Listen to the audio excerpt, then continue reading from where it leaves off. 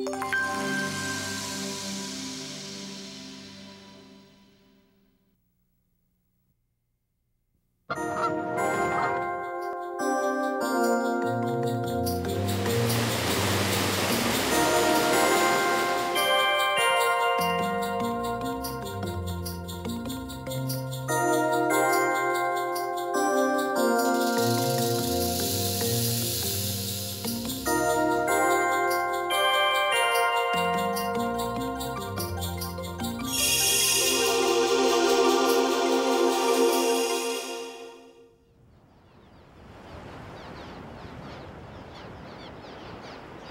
The Rio Grande, a river of immense importance in a dry land.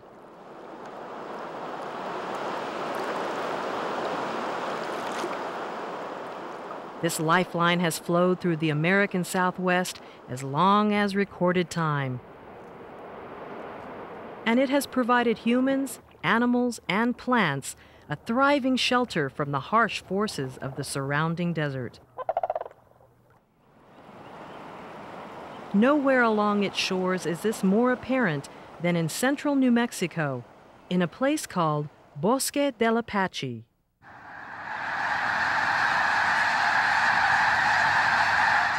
That's where the water is, that's where the lush flora is, that's where animals are deer, uh, mountain lions, uh, beaver, everything. Well, what's really amazing here on the Bosque is just the sheer opportunity to see just a wide variety of mammal species. The Bosque represents an almost undiscovered treasure trove of the human past.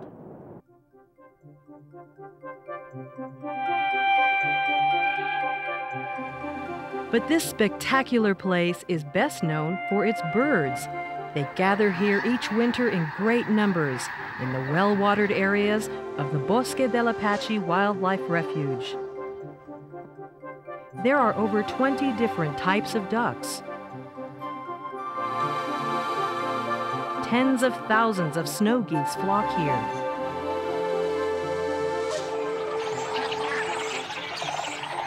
In all, the Bosque offers refuge to over 370 bird species, from songbirds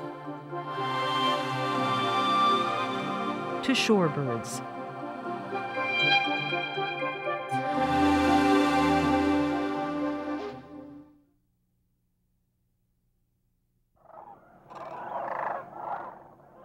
But of all the winged residents here at the Bosque, none is more captivating than the sandhill crane.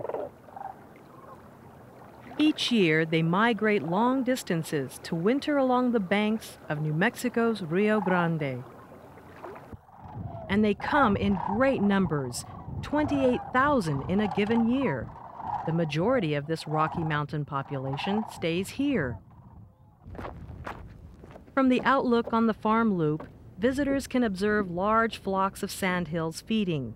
Migratory bird expert Don Caccamise explains the not so obvious importance of this activity.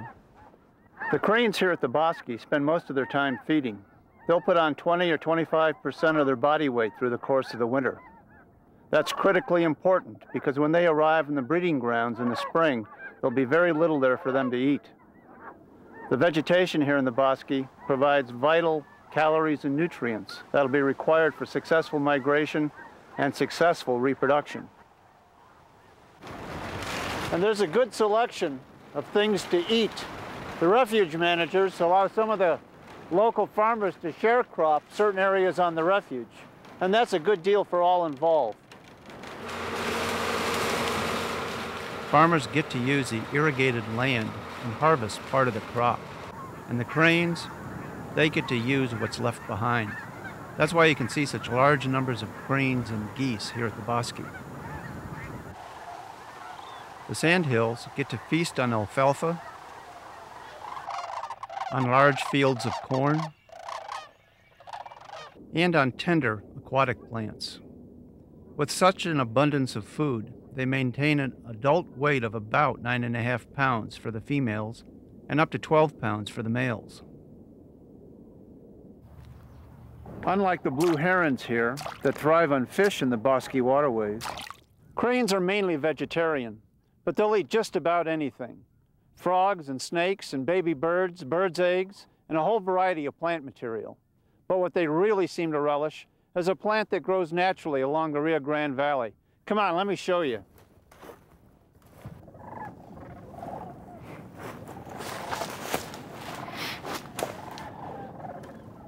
This is chufa, or yellow nutsedge.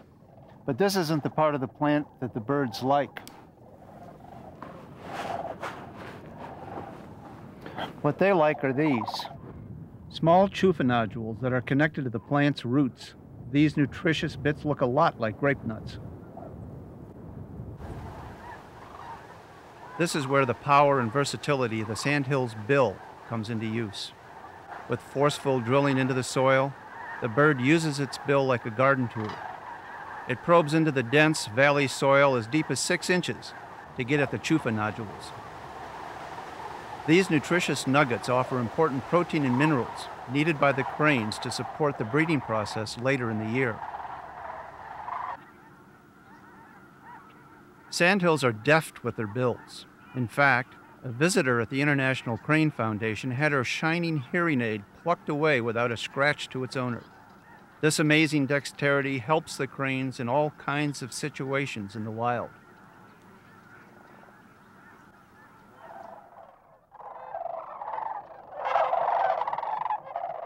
Spending time with the Bosque sandhills allows one to witness special rhythms that occur here throughout their day.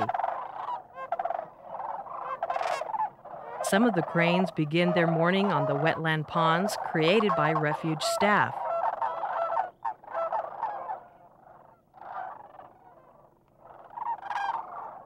By sunrise, the sandhills begin to take off for the feeding fields just to the north.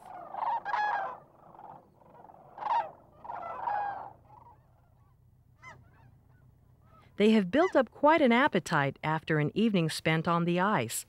While this is not the most comfortable place to bed down, it affords these birds protection from predators.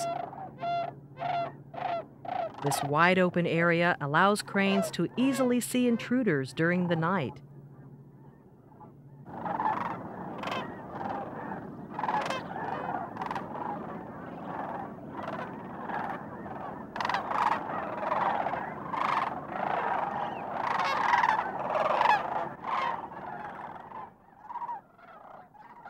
Even this whooping crane, one of the few on the refuge, joins the sandhills at the roost. It too heads off for a day in the fields.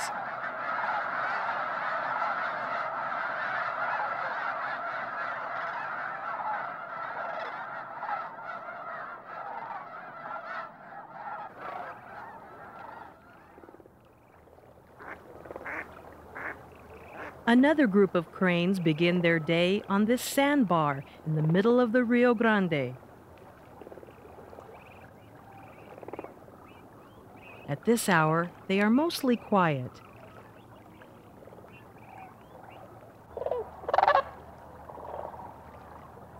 Some begin to pick in the mud for the day's first food.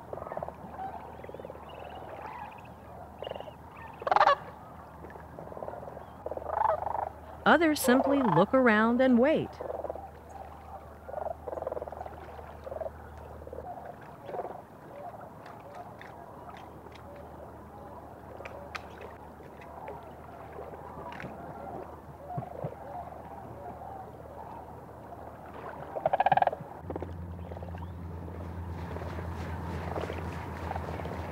For the next hour or so after first light, the cranes begin to take off in small groups of two or three.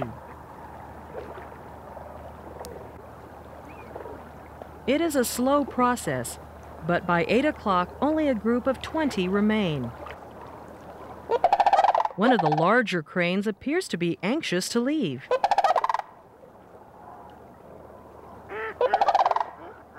He squawks at the others as if saying it's time to go.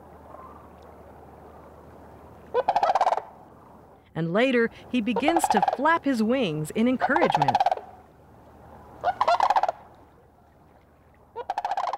Several others copy this dance.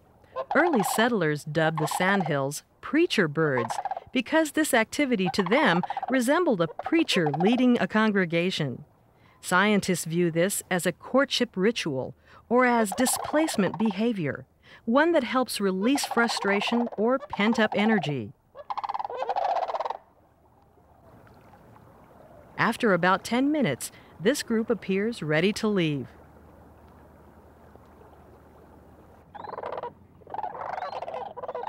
In one great moment, the flock takes off.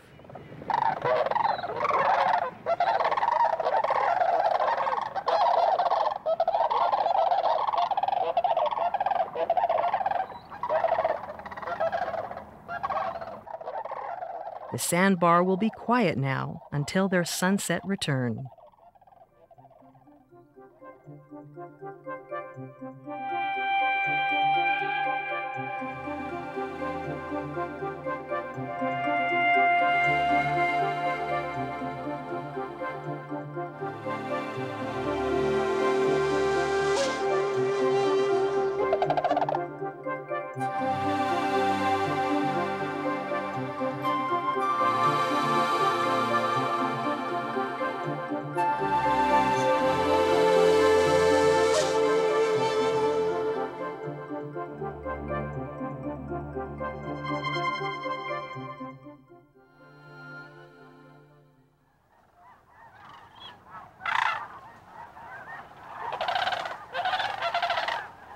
After arriving, the Sandhills spend most of the daylight hours roaming and eating in the fields.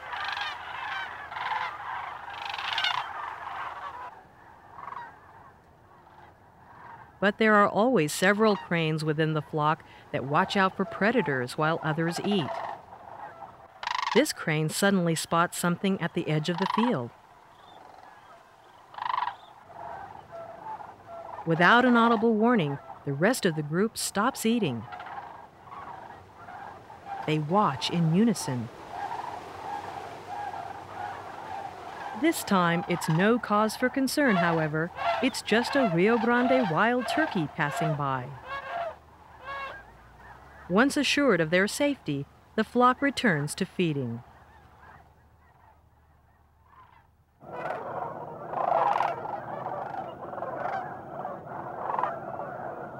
Various other distinctive behaviors can be observed throughout the day.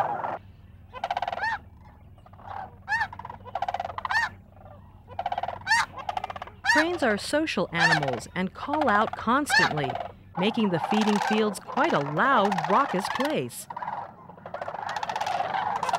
One particular sound is the unison call. It occurs between a paired couple. Sandhill cranes mate for life, and this call is the basis for understanding their social bonding. Biologists believe that the unison call is used for a number of functions, from establishing territory to a warning call to a recognition of one's mate.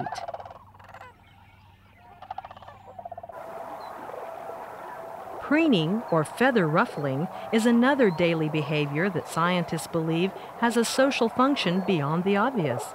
Some believe that this activity is used in aggressive meetings between two cranes, allowing the threatened crane to watch the aggressor from all angles.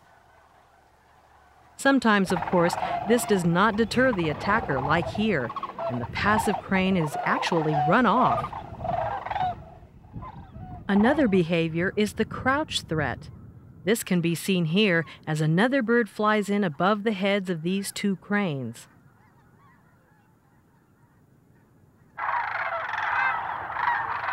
By four o'clock, parts of the flock begin to return to the Rio.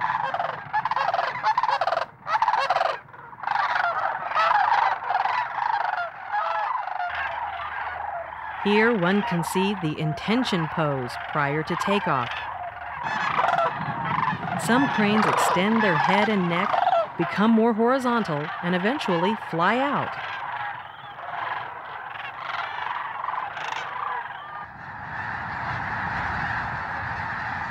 Sandhills, along with the snow geese, make this a spectacular time of day at Bosque del Apache. With thousands of birds in flight and an impressive New Mexico sunset, The sights and sounds overwhelm.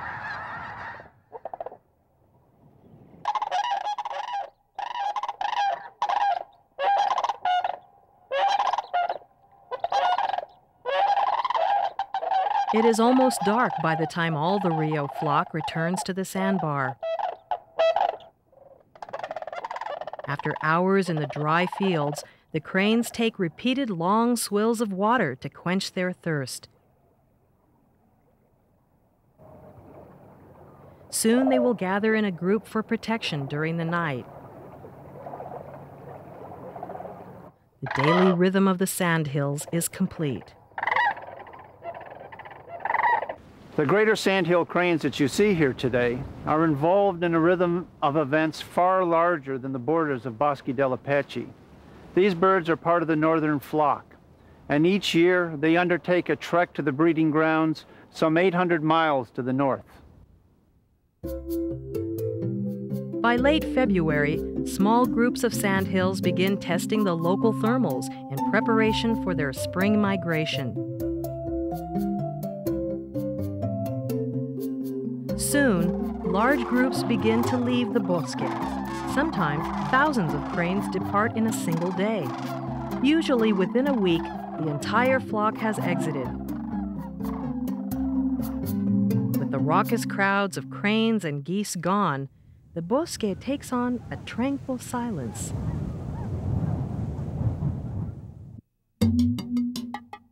This Rocky Mountain flock is the largest single population of greater sandhill cranes in North America. Estimates range from 17,000 to 25,000 birds. Leaving the refuge of the Rio Grande Valley, the cranes fly north, following the spine of the Rockies through Colorado. Then it is on to the breeding grounds in the area where Montana, Wyoming, and Idaho meet. It is here, like in these wetlands at Red Rock Lakes National Wildlife Refuge in Montana, that the greater sandhills choose to breed and raise young. But something has dramatically changed with these cranes since their winter days at the bosque. They are now brown. The culprit? As the cranes clean their feathers, they literally paint themselves with the ferrous minerals found in the water and mud of Red Rock Lakes. If you look close, a gray neck can still be seen, but from where the bill can touch and below, the brown mineral stain persists.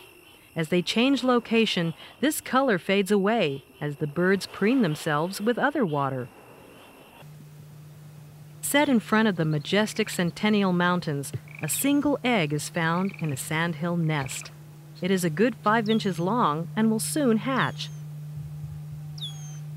Upon approaching this well hidden nest, both parents fled, but the female, in hopes of luring the intruders away, fakes a broken wing. This is a prime example of sandhill nesting behavior. They staunchly defend their offspring. In fact, the parents are even aggressive to other cranes at this time. It is distinctively different behavior for these usually social, gregarious birds. Sandhill cranes employ a range of strategies to ensure their numbers in the wild. At one end of this range are species that produce a large number of offspring, but invest very little time and energy in the survival of each individual. At the other end of this range are species that produce very few offspring, but invest a great deal in the survival of each individual. Sandhill cranes are in this latter group. Mortality is low because sandhills have secure family bonds that last lifetimes. They are extremely nest attentive and defend their young vigorously. What they sacrifice as a species is energy expended and small numbers of young. Even with these efforts, about 20% of the crane's nests fail. At best, a sandhill pair brings only two juveniles south. Throughout the Montana summer, the young cranes grow at an astonishing rate. Within a day after birth, they begin to walk. And within two to three more, the chicks can swim. In 10 weeks, the young begin flying, and by summer's end, they are close to the size of their parents. The rich nesting grounds of Red Rock Lakes has served these sandhills well. By October, the flock is ready for their return journey to New Mexico's Rio Grande Valley. While migrating, cranes can travel over 30 miles per hour. Many times they take advantage of thermals and strong tailwinds. Often they just glide with the river of air. They travel six to seven hours a day. But the 800 mile journey is not completed in consecutive days. Often the cranes stop over in Colorado and feed for a while. Weather, of course, is always a delaying factor. Sandhills like clear, bright days or moonlit evenings to fly. The entire migration from Idaho to New Mexico will take close to a month. This spectacular footage was taken by Kent Clegg, an Idaho farmer who has a great love of cranes and a desire to see the endangered whooping cranes established as part of the Sandhill Rocky Mountain flock. Whoopers, only a few hundred exist today, have a different migratory route than the Rocky Mountain Sandhill flock. Normally, they summer at Wood Buffalo National Park in Canada and winter along the Texas Gulf Coast or in near Aransas. Kent and others believe that by establishing an alternate migration route, the species will be ensured of a backup population in case the main population of whooping cranes meet an unexpected environmental or natural disaster. To achieve this goal, Kent has imprinted himself on a group of first year sandhills and four whoopers. They recognize him as their parent and follow his lead when it comes to the fall migration flight. He hopes that the flock, by following his ultralight aircraft to Bosque del Apache, will establish this route as their annual migratory truck. But even with Kent nearby, the journey is not without hazards. Here, one of the whoopers is suddenly attacked midair by a golden eagle. After plunging to the ground, the young crane was recovered with only minor injuries. It was later transported to the bosque, where it rejoined the rest of the group. The average lifespan of sandhills ranges from 15 to 20 years, although some individual birds have been known to live for more than 30 years. One thing is for sure this ancient flyway over the western part of North America has existed for millennia. Scientists claim that cranes have existed since the time of the dinosaurs. And these sandhills continue their species' time honored habit of migration. As humans continue to populate and urbanize the Rio Grande Valley, the role of the bosque as a refuge takes on a great significance for the sandhill cranes. By the time the cranes reach here, it is already late October or November. The importance of this ancient flyway can't be overstated. Perhaps Aldo Leopold captured best the wonder of the crane migration when he said, They live and have their being, these cranes, not in the constricted present, but in the wider reaches of evolutionary time. Their annual return is the ticking of a geological clock. Upon the place of their return, they confer a particular distinction, a paleontological patent of nobility, won in the march of eons.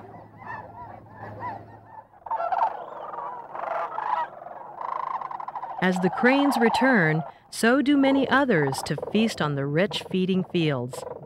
However, the birds of the bosque are not alone in the quest for food. One of the most resourceful animals in New Mexico also inhabits these wetlands, sometimes at the expense of the cranes. Dr. Jon Boren explains. I've seen coyotes in about every habitat type in the southwest, from mountain meadows all the way down to desert grasslands. But here on the Bosque, particularly during the winter, you'll have the opportunity to see some of the most well-fed coyotes in the state of New Mexico.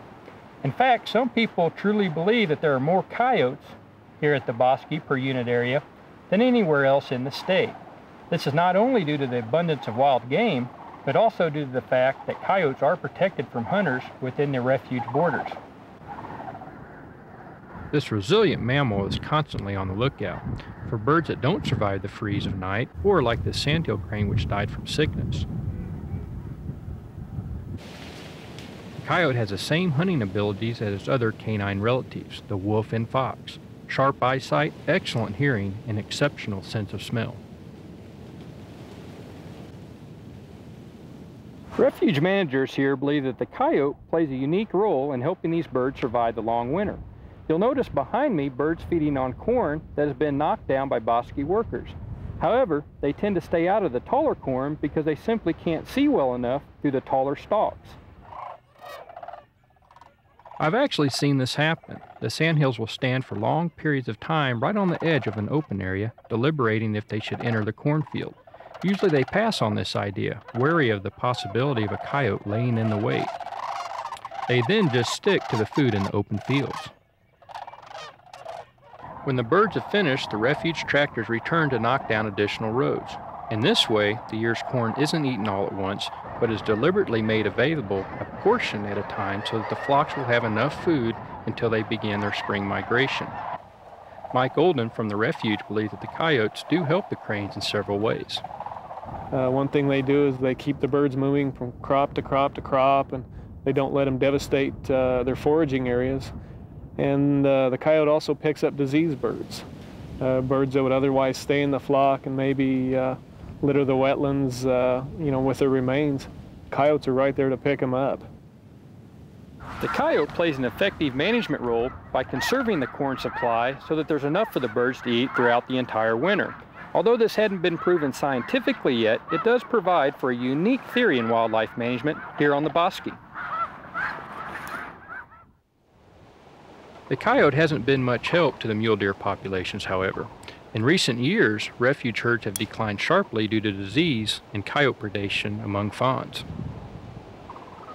Uh, in the early 80s, probably uh, the biggest thing was the scabies mite outbreak that uh, got in the population.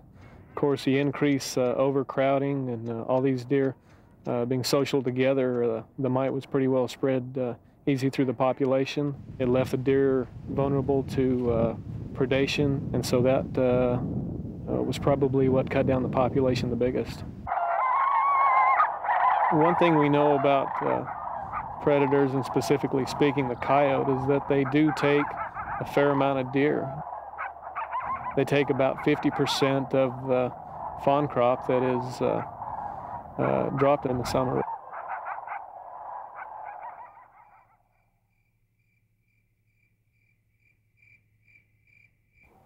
The deer that have survived are often to be found in areas like this. I really think this place lives up to its name, a refuge with an excellent source of cottonwoods, willows, and shrubs that do provide the mule deer with an excellent source of shelter and also a bountiful food supply. These mammals are primarily browsers and can be seen often in small groups around the bosque. In the early morning hours, they graze much like here, eating green alfalfa left behind by farmers who use the refuge. They also eat naturally occurring grasses and buds from trees and shrubs. The mule deer gets its name from its unusually long ears. The males have long, graceful antlers that differ from those like the whitetail. If you look closely, you'll see that they are forked rather than having points rising from the main beam of the antlers as on whitetails. Another mammal that seeks shelter in the refuge's vegetation is the porcupine. With a little bit of patience and time, you'll have the opportunity to spot one like this in the top of a cottonwood tree. Being North America's second largest rodent, only the beaver is bigger, the porcupine puts its teeth to work eating the soft bark of river trees in this valley. Refuge managers have told me that their feasting does not really hurt the trees. Their numbers are low enough and the individuals travel from tree to tree, reducing the impact on any single plant. The porcupine is probably best known for its quills, its natural defensive armor that really makes up for its slow movement. If you take a look here, these rigid spines make a formidable deterrence for an aggressive predator. They are loosely attached to the porcupine so that they can easily penetrate and remain with an attacker. These quills are not shot out of the porcupine like some people believe. Rather, the animal thrashes its tail from side to side vigorously in hopes of warding off a menacing predator. These animals usually weigh between 9 and 13 pounds, although the record is a whopping 37 pounds. None have been seen that large at the bosque. They tend to lead solitary life along the Rio here, but they have also been seen in the desert and grasslands surrounding the refuge.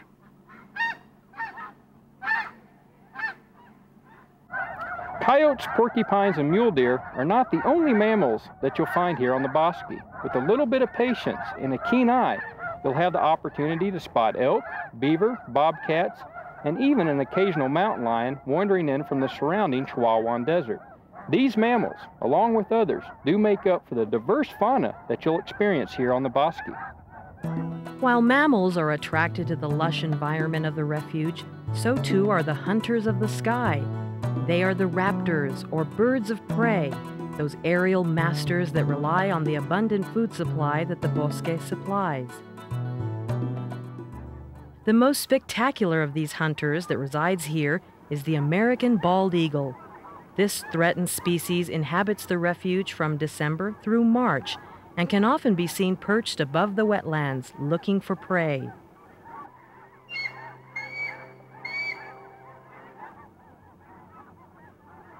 Eagles, like this immature bald, usually eat fish, but in the wintertime, these birds tend to eat a variety of things.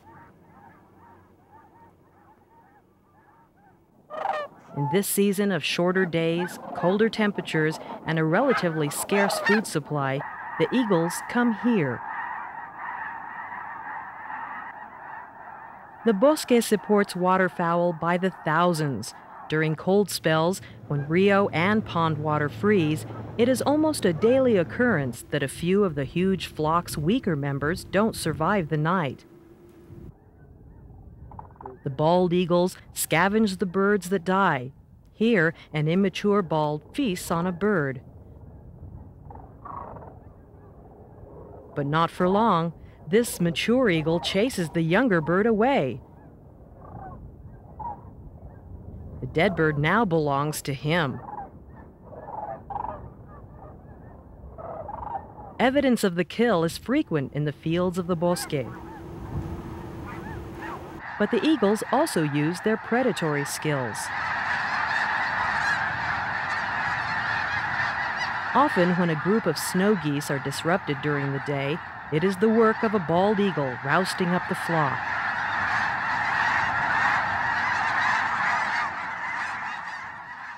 But most of their time is spent watching for an easy opportunity.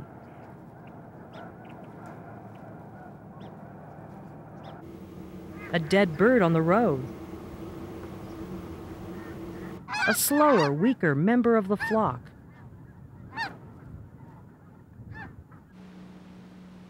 There are quite a few immature members in this year's group. Of the 25 bald eagles here this winter, 20 are immature. Their coloring ranges from white and brown speckled to almost black. It takes them years to get the distinctive white crown of their elders. Immatures change gradually over each summer. They eventually lose their brown spotty look, but this doesn't occur until after their first four to five years. Immature balds here can be seen quite close to the visitor's tour loop. They like this bare tree that was put here by Bosque staff.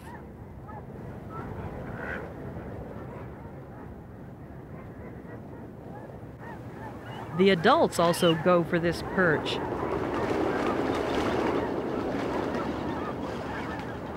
For 360 degrees, the eagles can scan the horizon over this wide pond. It serves as an ideal lookout.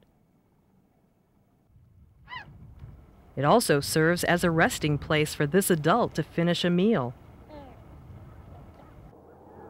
But the bald eagles do not have a monopoly on this tree.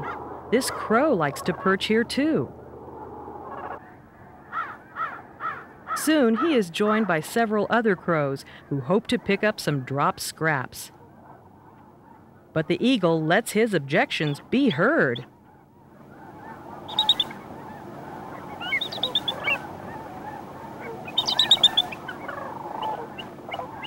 Finally, the crows get the hint and fly away. The mature bald, while still seeming a bit irritated, is finally left alone. Far more serious disturbances can be caused by humans. And for these birds, that can be problematic during the winter. In the days of limited sunlight and cold temperatures, eagles waste valuable hunting time and energy flying away from people.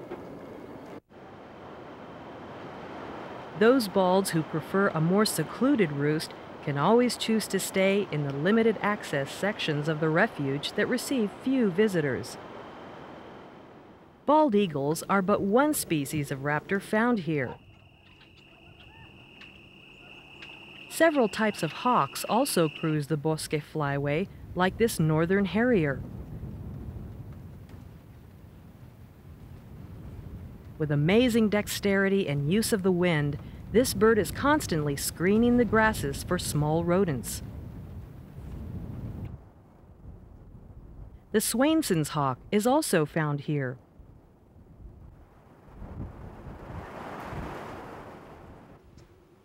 But none is more frequently seen than the red-tailed hawk. They perch among the same dead trees as the bald eagles in search of prey.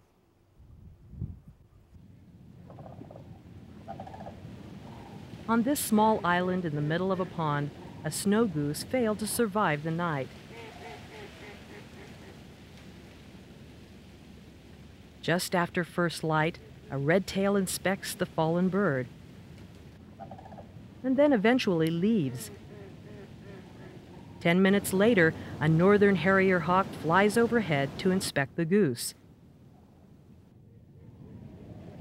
As the day gets brighter, the red tail quickly returns to claim its prize.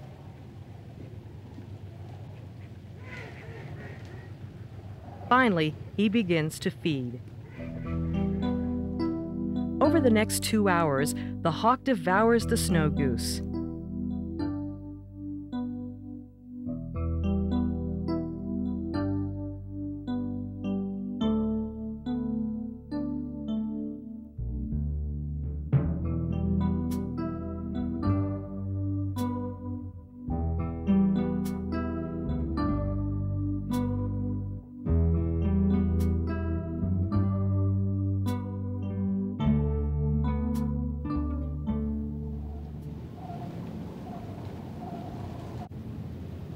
Mallard ducks casually drift by, seemingly unaffected by what is happening on the island.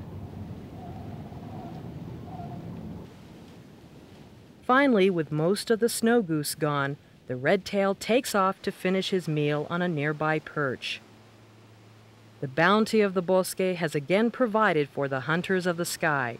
Only feathers and a bit of carcass remain of the snow goose. Nighttime hunters of the refuge include several families of great horned owls. This one resides in a cottonwood tree in the bottom of the valley. This nest is also located in a cottonwood, but an isolated one in the surrounding desert brushland. This parent chooses to raise its young in the shelter of these cliffs at the southern boundary.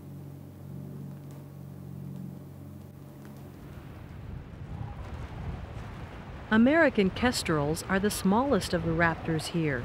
In fact, they are the smallest of all falcons. Their sleek bodies and alert instincts help them feed on the smaller rodents, insects, and reptiles of the refuge. These streamlined, powerful hunters of the sky were formerly called sparrowhawks. Just like their animal relatives, it is quite logical why humans, over the ages, have been drawn to the shelter of the bosque. With abundant water, plants, and food, this habitat has always been full of life compared to the relatively sparse desert surroundings. The Spanish named this place Bosque del Apache, which means woods of the Apache for nomadic Mescalero Apaches often visited here. But long before their arrival, there existed another group, one that made this resting place on an ancient flyway their home. The people who lived along the river in this part of New Mexico are known as the Piro. The Piro populations who inhabited this area of the Bosque located here because at that period in their history, uh, this region offered the ideal circumstances and climate for the kind of agricultural lifestyle that they depended on. Uh, it was, was lush with game. There was plenty of water. The frost-free season during the year was long enough to successfully produce good crops of corn, beans, and squash.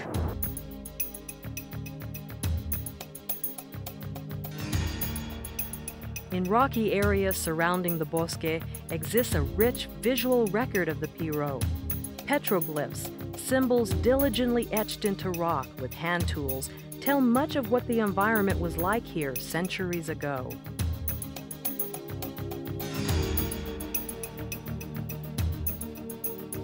We see that certain animals are uh, emphasized more than others.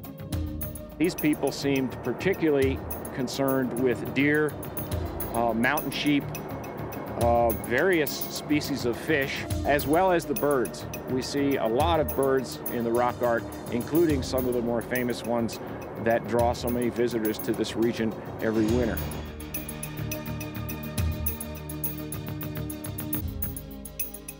This ancient image outlines a long-necked bird with a strong likeness to a sandhill crane. This piece possibly mimics a goose while in flight.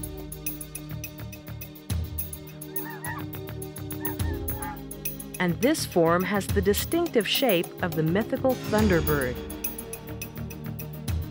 Many of the petroglyphs around the bosque seem to take on a spiritual quality, and speculation of what these symbols represented is limited only by one's imagination.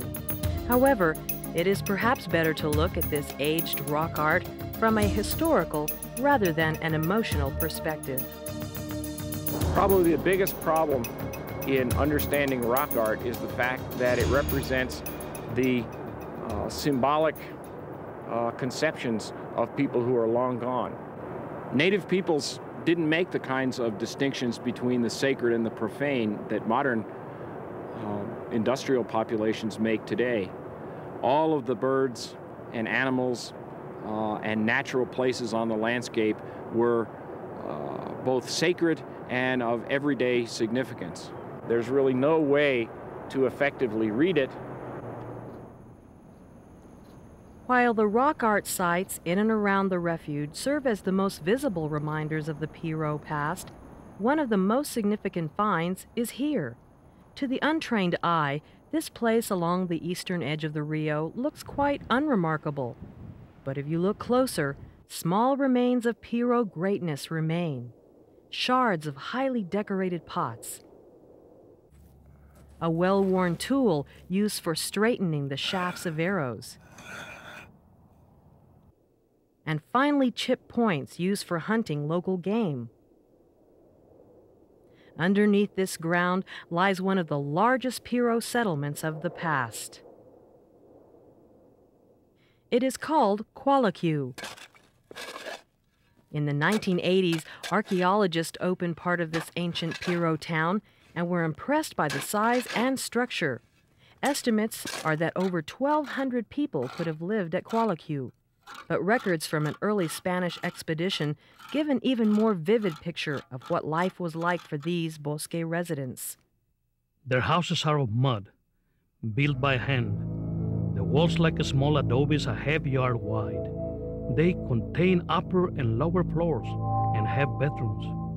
The people climb to the upper floors by means of movable hand ladders, and the lower part of the pueblo can be dominated from above. In each pueblo, in the center of the plazas, are some very large cellars, two and a half estados deep, with an entrance in the shape of a trapdoor and with a step ladder. They are all whitewashed and provided with stone benches all around. Here, the people perform their games and dances. Luxan's account of the Espejo expedition, 1583.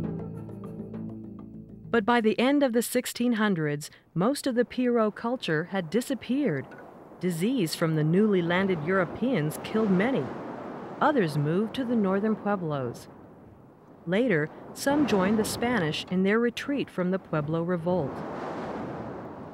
In any event, the effects were dramatic. Within 100 years of their first Spanish encounters, the Piro, as a unified culture, ceased to exist.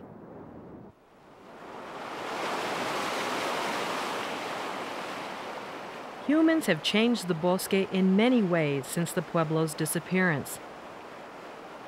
Spanish settlers also tapped the Rio for agricultural water, developing a sophisticated system of acequias, or irrigation canals. Later, gigantic dams were also built along the Rio to ensure constant water supply throughout the growing season and to eliminate flooding from the spring runoff or summer monsoon rains. River communities expanded into the previously vulnerable Rio Grande floodplain. And eventually, plants were introduced that were not native to this ancient bosque. This one, tamarisk or salt cedar, was introduced here in the 1940s to help control erosion. Since then, it has become the dominant vegetation, causing a number of problems. Dr. Kirk McDaniel explains. There's nothing wrong with a monoculture of salt cedar if you had a little bit of it. But when you have virtually nothing but salt cedar over a large area, then you've created a situation where you've got a habitat that's only desirable to a very limited number of, of uh, species. And for a wildlife refuge, that's not very de desirable. Since the late 80s, McDaniel has worked with refuge biologist John Taylor on reducing salt cedar at the bosque. They used a combination of mechanical removal, carefully applied herbicides, and fire to get rid of this invading plant. Here, the remaining dead salt cedar provide an environment for a popular rookery, a place where birds gather to nest and bring up their young. Today, great egrets and cormorants flock to this area, where just last year the impenetrable tamarisk groves prohibited nesting. But in other areas where salt cedar had been removed, only open fields of dirt remain. If other vegetation was not established, the salt cedar would quickly return. The perplexing question was what to put in its place. Taylor and McDaniel decided to mimic the historic cyclic flooding of the Rio, which occurred here before the dams, and to reintroduce native plants like cottonwood and willow. We've co controlled salt cedar on an area. Uh, the area is it's kind of left much as if uh, the river had just come through with a severe flood and created a, or scoured and created a, uh, you know, a mud flat. We'll develop uh, water management capabilities all around. We'll build dikes around. We'll uh, divert uh, irrigation water into an area, flood it up to peak levels, and uh, during that period, late May, early June, we'll begin dropping our water levels and creating that mud flat. Every year in late May, early June, cottonwood and willow release thousands and thousands of aerially born seeds. It's timed ecologically to coincide with those uh, flood events. It's just like a blizzard in some days. So the seed uh, lands on that moist substrate. It germinates uh, generally within about 24 hours, and you get a seedling there is no longer that natural function anymore. So it's, it's incumbent on us to recreate that, to reproduce that. Or else we'll uh, continue to see uh, salt cedar dominate an area of vegetation change.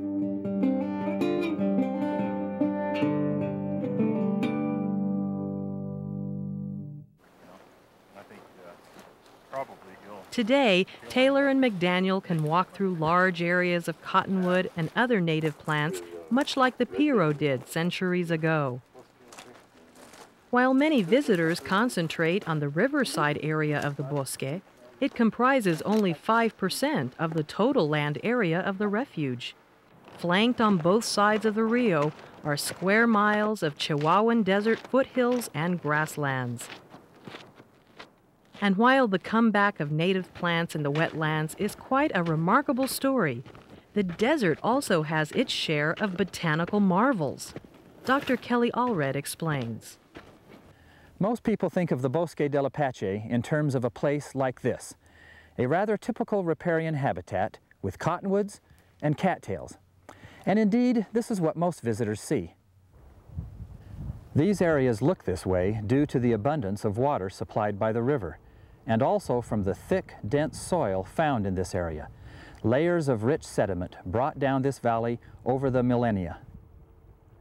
Today, however, we're going to travel away from the river to areas on the refuge where few people go and see how differences in soil and water change the kinds of plants that grow in a particular spot. Right here, we're standing next to the definitive edge of the wetlands. Just behind us is the Rio Grande. However, in the matter of a few short steps, you can see we make an immediate change from a Rio environment to a desert environment with absolutely no transition zone in between. Along this dividing line, you can see an abrupt change of plants. Here we find sand sage, broom dalea, and giant dropseed, each one adapted to living in the shifting sands of this dune environment. One big difference here is water. We're only a few feet higher than the river, but far enough that the water table is well below us. The other difference is soil. Rather than the heavy clay soil of the river bottom, what we have here is loose sand. In this dune area, water percolates rapidly through these soil particles, leaving a dry soil surface. Let's take a walk now and travel the Chupadera Trail, another place on the Bosque where desert plants live in the extreme.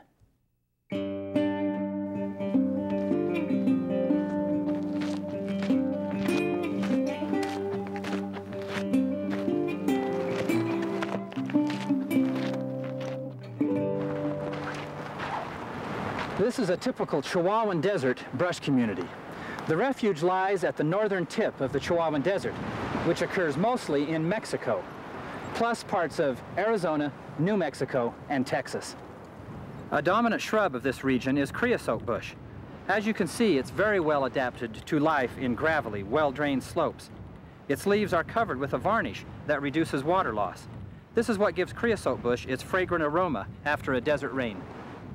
I'm standing along a distinct borderline between two plant communities of the Chihuahuan Desert. To the south is the brush community with creosote bush.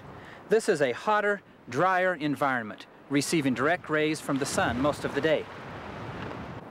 By taking just a few steps to the north, we're in a grassland community. Because of its north-facing slope, it's more moist, has more available water, and the grasses are able to grow. What you see here is the desert grass, black grama.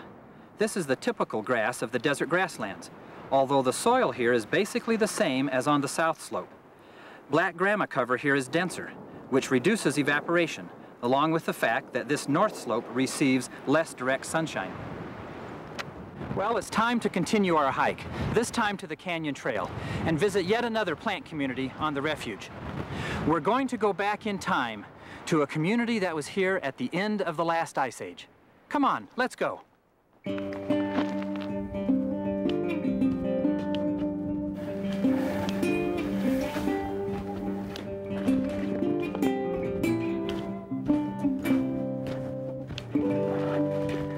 Here we are at the high point of the Canyon Trail.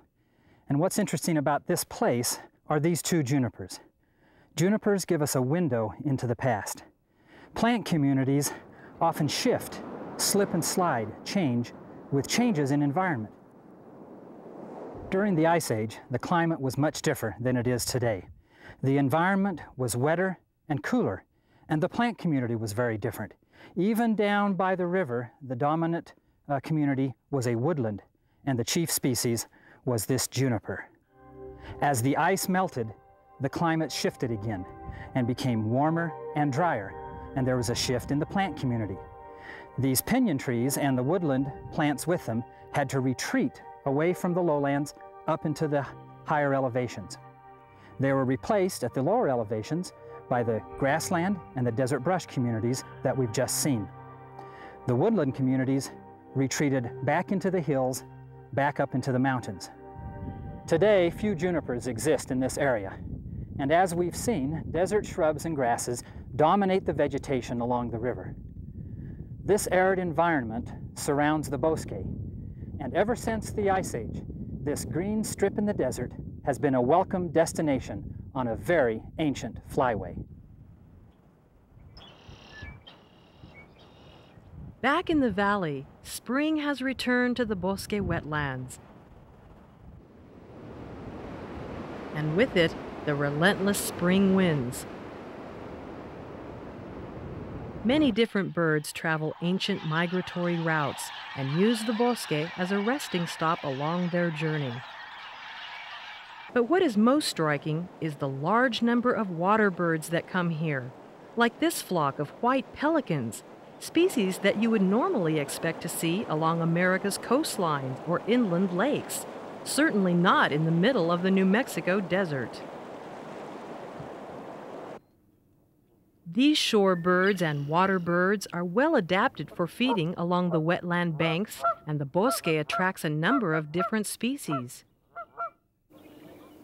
There are American avocets,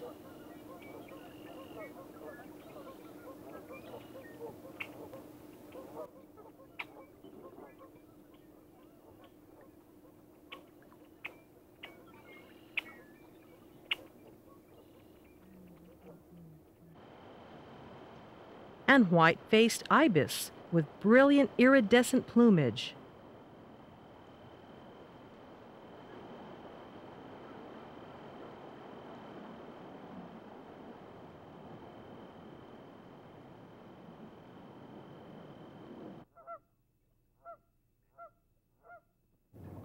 Snowy egrets also search for food here, stirring up the wetland bottom with their feet.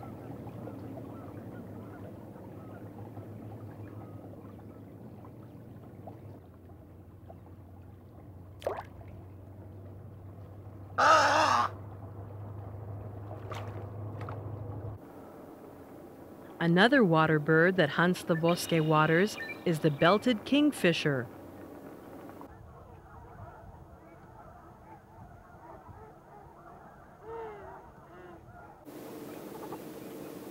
Long-billed dowitchers also stop to feed here. They are the migration marathoners, wintering in Mexico and breeding in the Arctic tundra.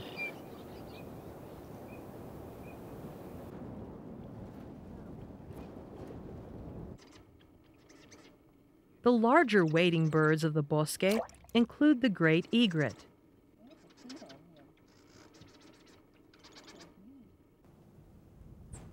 And the great blue heron.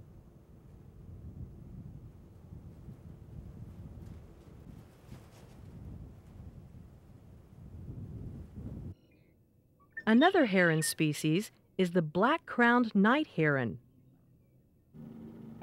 These noisy nocturnal herons tend to favor this western edge of the refuge, where thick foliage allows them to conceal their nests. With great flocks of sandpipers gracing the skies, springtime marks the very special season of shore and water birds. Their syncopated aerial acrobatics are, indeed, a wonder to watch. And as the spring birds signal the beginning of yet another year, one can't help but ponder the past importance of this ancient site. Bosque del Apache is a special place in a dry land, an oasis on the fringe of the arid Chihuahuan Desert. It has nurtured humans for centuries, allowing them to build great civilizations as evidenced by inspired Piro ruins. And for millennia, it has served as a major intersect along the ancient flyway of the Rio Grande. But perhaps its role as a refuge is even more relevant today. This remarkable place is of utmost importance for many of the region's animals. As human population increases in the river valley, the role of the refuge in preserving a nourishing environment becomes even more critical. It is in our best interest to continue this preservation for ourselves and our Earth, to which we are inescapably linked.